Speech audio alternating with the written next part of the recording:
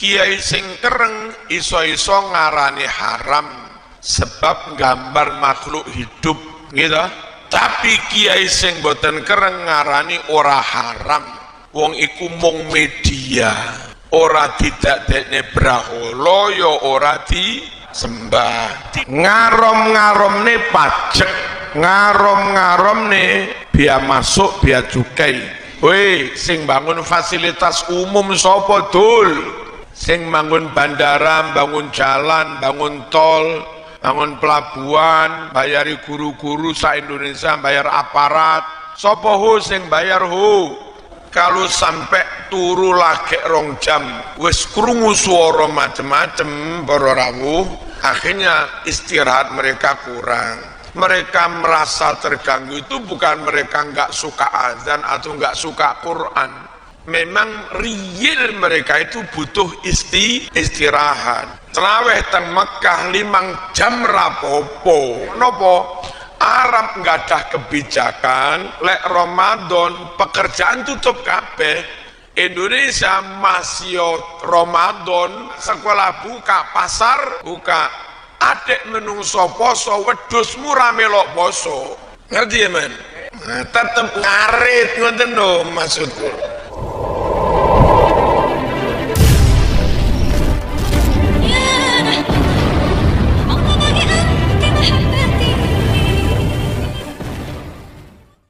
Para rawuh ada beberapa hal yang kulo perlu matur Pertama, kaidah beramar ma'ruf nahi mungkar, menentang kemungkaran, menghilangkan kemungkaran, itu syaratnya jika itu benar-benar mungkar. Menurut ijma semua umat Islam bersepakat itu mung mungkar. Kalau mungkar menurut golongan, tidak mungkar menurut golongan yang lain.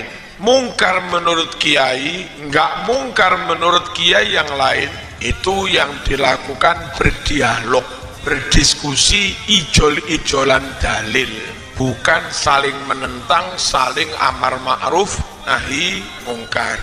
Wayang itu haram apa enggak kiai sing kereng iso-iso ngarani haram sebab gambar makhluk hidup gitu. Tapi kiai sing boten kereng ngarani ora haram. Wong iku mung media. Ora tidak dekne braholo yo ya ora di sembah tidak tiga dimensi. Wang yang kulit tipis-tipis. Sing haram itu kali dibuat hingga memungkinkan hidup. Lah wayangi gepeng-gepeng. Nah, kadang lek werku dorong wetenge cuwilik limbuk wetenge gede nggih mboten. Mangke lek abimanyu wetenge cuwilik ora mungkin urip. Nah jadi haram apa enggak? Wayang itu ulama berbeda pendapat. Untuk hal-hal yang ulama sendiri berbeda pendapat umat monggo-monggo derek sing meriki monggo derek meriki nggih monggo. Enggak boleh saling menentang atas nama amar ma'ruf nahi mungkar. Sambil gua bendungan takbir ngerampas toko tiba nyamar ma'ruf nyambi mungkar. Paham nggih pun niku tentang wayang kalau NU biasanya fleksibel. Sekiranya itu lebih banyak membawa maslahat kena kita wah di lingkungan orang awam lewat wayang terus kita bisa merukunkan antar kelompok dan meminimalisir kemungkaran kau umben-umben kau gendaan. Monggo apalagi kalau kita nggak bisa melestarikannya khawatir gereja yang melestarikan. Kiai anti wayang ustadz anti wayang pesantren anti wayang padahal mereka juga butuh panguripan kaum pewayangan ini. Akhirnya gereja sing sering undang gereja sing rawati tradisi budaya wayang itu. Krono sing undang gereja dakwai gereja ojo jimat kalimu sodo yo jimat trinitas. Tambah kemeng sampean. Mending diemong kiai. Ngono-ngono tetep nggak hilang tauhide ya. Jimat kalimu soto ashadu alla ilaha illallah. Daripada ora dirawat mau mungsuhi undang gereja suwe-suwe. Haleluya pun niku wayang. Setuju sakarmu nggak setuju sakarmu tapi nggak boleh saling menentang. Nomor kali tentang pajak. Niki sapa? Sing jenggotan iso uh, apa? Nggih basah lama. Sama Khalid basah lama. Eh basah lama. Basah sebentar nopo basah lama ngarom-ngarom nih pajak ngarom-ngarom nih biar masuk biar cukai. Alasan zaman Nabi ramunu kuwi. Terus piyambai berdalih saya membeli dengan harga taruhlah satu juta. Kok dikenakan pajak apa urusannya? Wong yo duit duitku dewe kenapa dikenakan pajak terus kulo tulisi woi sing bangun fasilitas umum sopo dul sing bangun bandara bangun jalan bangun tol bangun pelabuhan bayari guru-guru sa Indonesia bayar aparat. Sopo hu sing bayar hu kan nego negoro.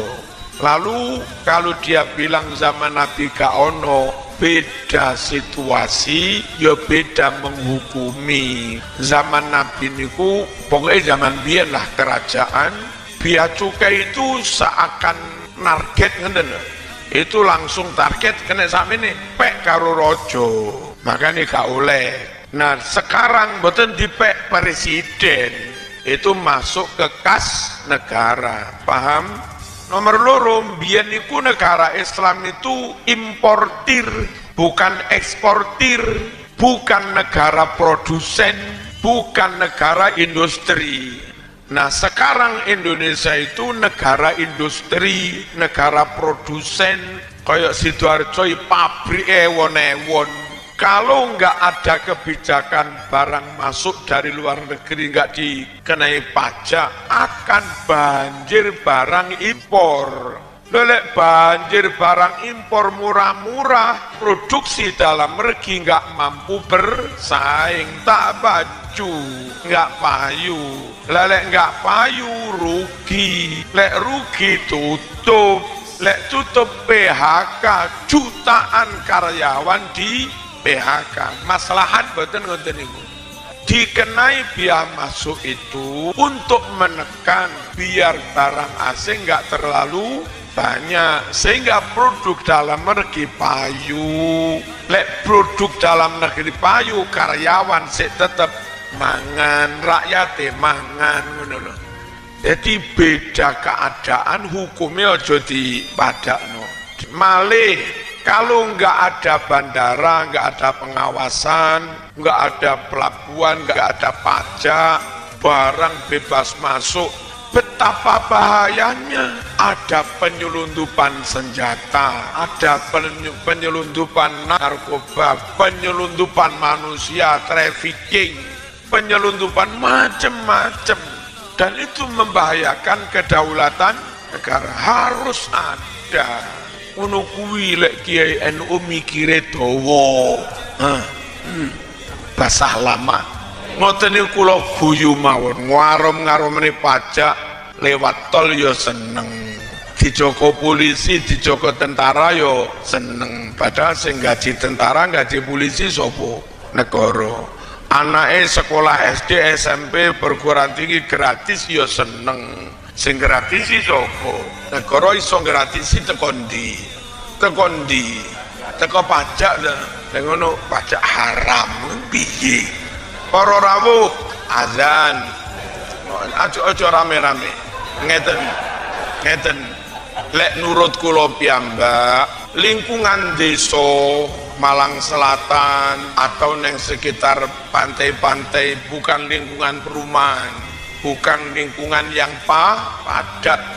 Ngoten karena jarak antar rumah itu agak berjauhan gitu terus mereka rata-rata petani. Petani itu kerjanya lebih santai daripada perkotaan perumahan yang rata-rata PNS atau kerja di peru perusahaan yang ditarget jam sakmene kudu masuk jam sakmene baru boleh pulang.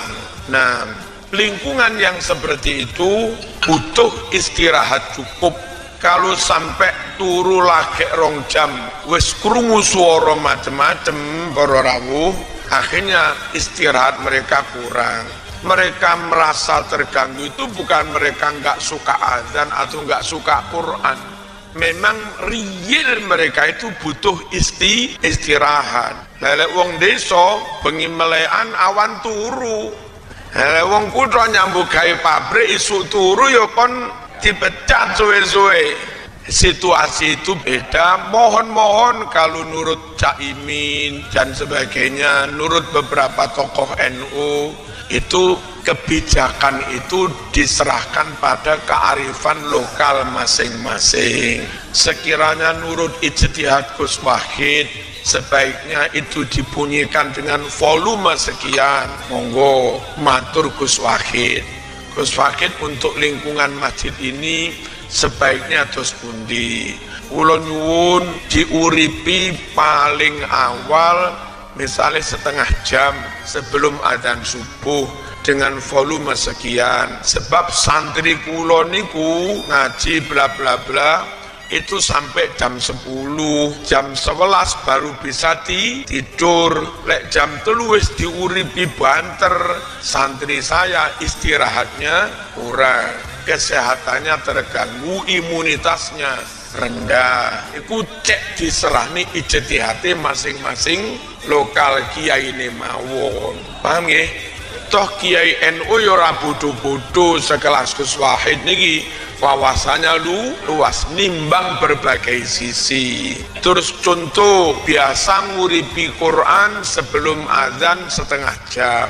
Tapi hari itu pas kebetulan tonggomu tonggone masjid loro nemen loro untuk lamun. Jambake matur teng Pak Mirkang aja mok setel sik Kang yo. Aja banter-banter. Makku loro untung gregesi nemen-nemen. Mbok yo tepo seli selerengge disetel tapi dengan volume kecil mawon atau salon. Ngene niku lho sing diwastani kearifan lokal dilarang sama sekali nggak bisa karena kondisi masing-masing beda. Dibebaskan juga nggak bisa karena di perkotaan kadang butuh iso istirahat. Sesuk jam 5 budal kerja. Ini sami kali teraweh nih dulu teraweh teng Mekah limang jam rapopo teng Madinah limang jam rapopo nopo Arab nggak ada kebijakan lek Ramadan pekerjaan tutup kabeh kantor pabrik tutup ranyambut gawe. Sehingga mari terawih limang jam kesel mari sholat subuh. Turu tangi-tangi jam siji nggak masalah wong nggak kerja. Indonesia masih Ramadan polsek buka oramil buka kantor kecamatan buka sekolah buka pasar buka adik menungso poso wedusmu melok poso. Ngerti ya men? Nah, tetep ngarit ngoten lho maksudku. Sing duwe pitik horen telung ewu. Pitik aku tak turusit ngantuk bengi mari traweh 10 jam. Kon poso seora iso. Pitik dikongkon poso. Gelem gak gelem ya kudu tetep jam setengah enam neng kandang makan pitik krana wong Jawa wong Indonesia niku Ramadan awan pancet kerja pancet ngarit pancet yang pasar kirang bijaksana. Kalau di Jawa ngimami traweh limang jam. Ngenten ya wis lah surate inna atoina kuluhu inna atoina kuluhu inna atoina kuluhu. Ngono ae wis rong puluh menit mari. Lelek sepuluh menit ya ratu maknina mas. Lek rong puluh menit surati pendek itu cukup tumak nina. Sah. Ditambahin dungone sakwitire selawe menit sedengan. Sedengan dong